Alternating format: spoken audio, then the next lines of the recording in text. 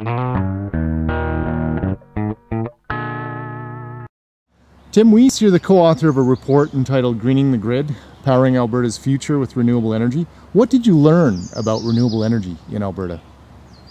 Well, the one thing that we definitely learned about renewables in Alberta was that there's a huge opportunity and there's uh, all sorts of resources and all sorts of technology that we can be tapping into. And this house is, is a great example of that at a, at a very small scale.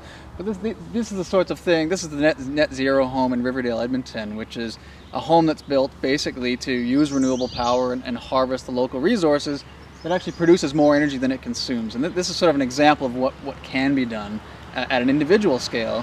What, what, what, we were looking at for our report was what can be done at, at a provincial scale with large uh, utility scale to be really cleaning up the electricity system in, in the province. And so what did you learn? How much potential is there in Alberta? Well, what, what we found in doing our research was that there's an overwhelming potential that we're simply not tapping into. And, and why that's really important in Alberta is that Alberta actually has the dirtiest system, uh, the dirtiest electricity system in all of the country.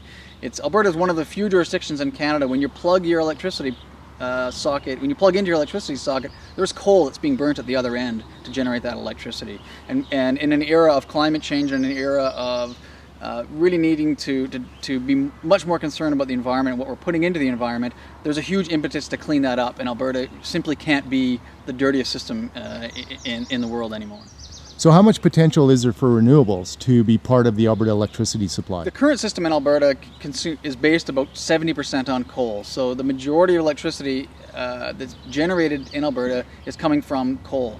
And what we found in our research was that we could be, we could, within about a 20 year span, based on the current technology, what other countries have already done, and what's really uh, feasible in terms of integrating into the existing grid, we could be phasing out, uh, we could be changing our system from 70% coal to about 70% clean power in the next 20 years. So we can go to 70% renewable and clean energy within 20 years.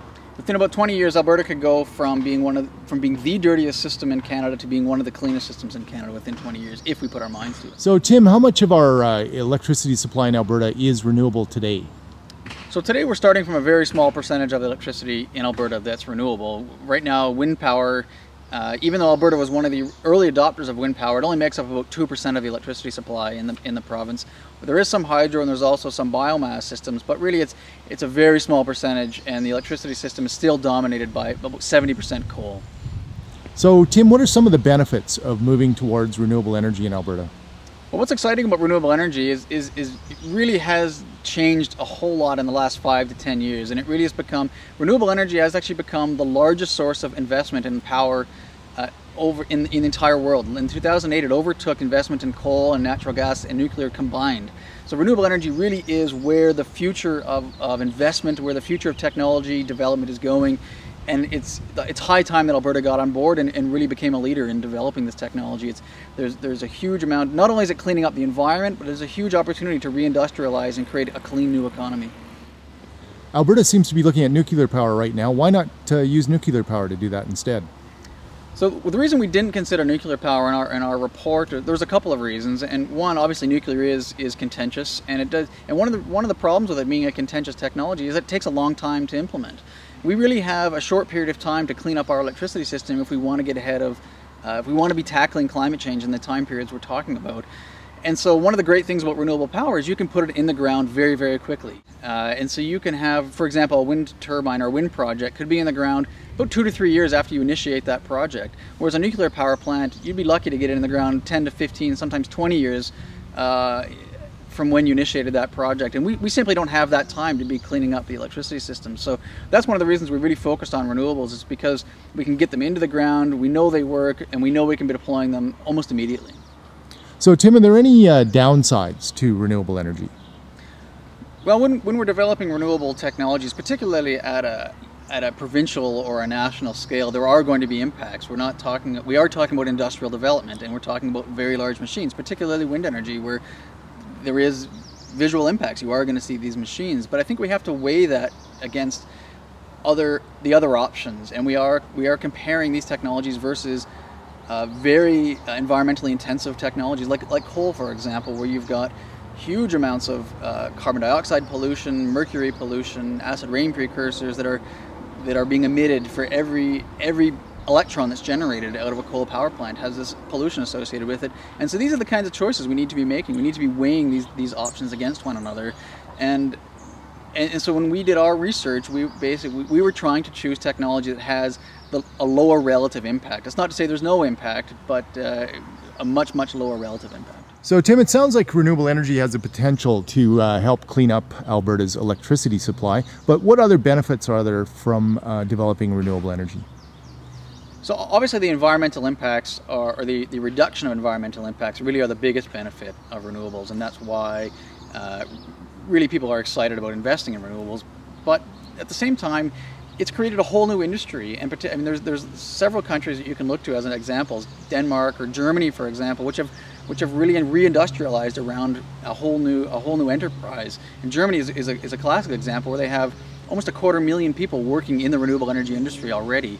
And the Ontario has recently passed the Green Energy Act. They're expecting about 50,000 jobs in Ontario to be uh, created developing these new technologies, implementing these new technologies, and, really, and getting them into the ground. And that goes from wind turbine development to solar panel development to insulating, indi ins insulating individuals' homes.